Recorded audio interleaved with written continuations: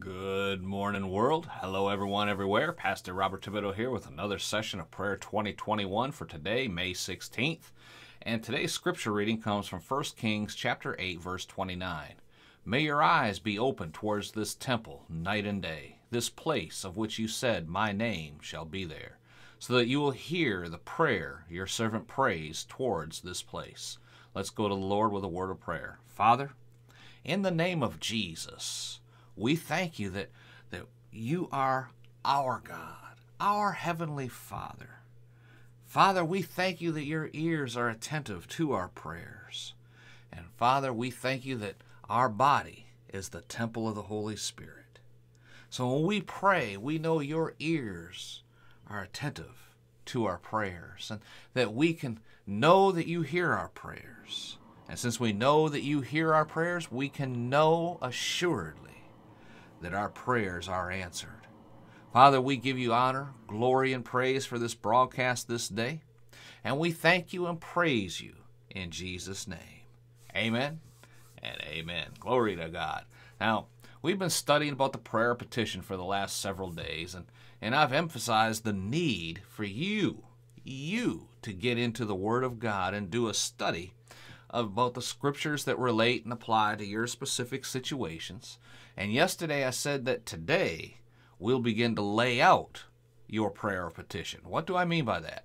Well, if you've picked up on one theme concerning the prayer petition from these last several days, it should have been to the point of scriptures that relate directly or indirectly to a situation you are praying about. It doesn't matter what the situation is.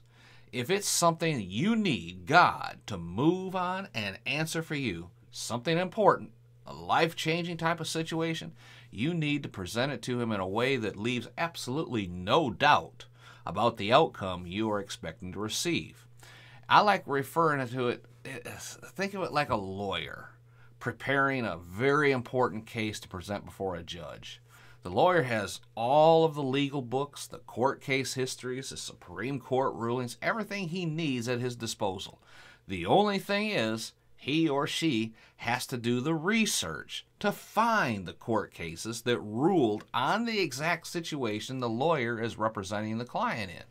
The lawyer is looking for example after example where another court, or even this same court, and perhaps the same exact judge, has ruled on a previous case in a way that is beneficial to the lawyer's client. The lawyer will have reference after reference after reference of prior cases, Supreme Court cases, circuit court cases, district court cases, if applicable to the jurisdiction of the court. All of these cases represent precedents. That means other courts have reviewed similar situations, made rulings, and provided legal opinions on the matter. This simply makes it easier for the judge to move in favor of the case the lawyer is presenting. Why?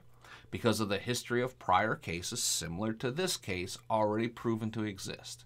That's why I've been emphasizing the need for you to do your own research, your own Bible study, your own search of the scriptures to find direct scriptural evidence to support your case. Scriptures where someone prayed and received healing or some other breakthrough. The exact kind you are praying for is best. Those are the best examples that you can use. But, as we covered before, we live in a culture totally different from the culture the Bible was written in.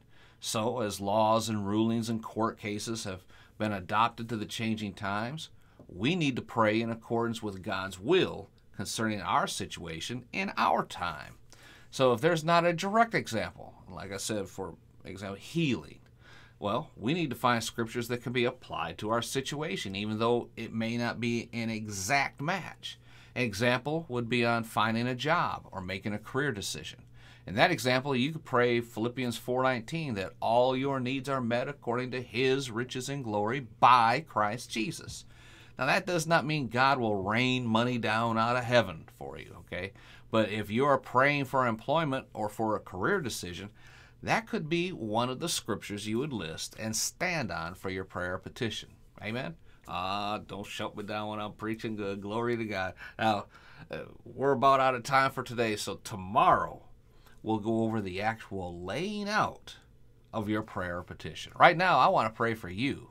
I believe you are finally beginning to realize that presenting a true prayer of petition to God is not something you should take lightly. Remember, way back when we started this about a week ago, I said a lot of people think their morning prayer time, uh, you know, their daily prayer time to God, they run it like a prayer petition. I need this, I need this, I need this, I need this. And I just thank you for providing.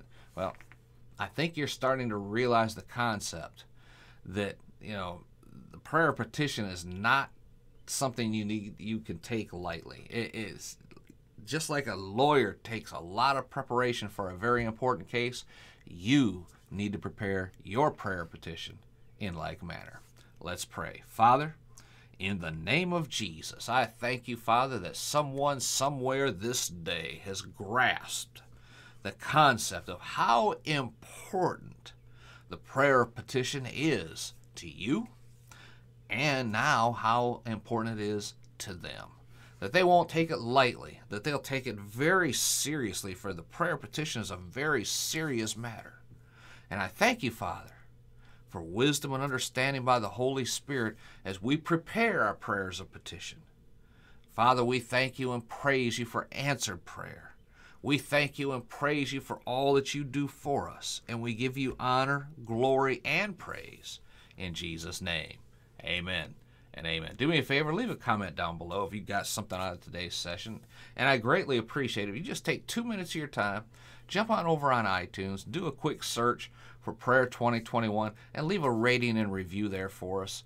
It really does help us to get the word out into all the earth. And be sure to visit our uh, website at podcastofchrist.com. Download the free resource, How to Launch a Christian Podcast, right there. If you're a church pastor uh, and you're wondering about how your church or your ministry can can utilize the you know the new online world that we are living in, well, we got a resource right there for you as well. It's free. It'll bless you immensely.